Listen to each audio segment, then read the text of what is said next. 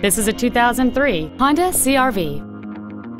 It features a 2.4-liter four-cylinder engine, an automatic transmission, and all-wheel drive.